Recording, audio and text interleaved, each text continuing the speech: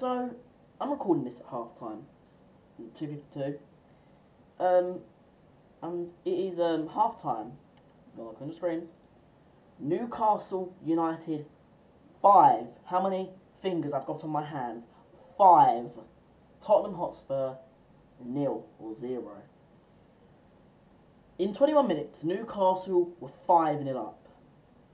We made a substitution as well. So, if you don't know, if you've not watched the game, I was watching the whole, whole game. In one minute, one second, Newcastle scored their first goal. It was a tap in. And I was like, oh, well, this is alright, it's alright, it's alright. Six, four minutes later, Joelinton goes scores their second. I'm like, well, come on, boys, this ain't good enough. And then they go and score their third three minutes later. Then ten minutes later, a fourth.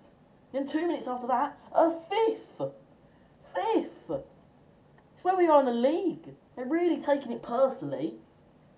Guys, the goal difference, it's not looking good, bruv. Look, all I have to say, top four is over. It's done. We're losing this game. I'm going to say 7 0. 7 8 0. Right. After this game, there is a massive match run.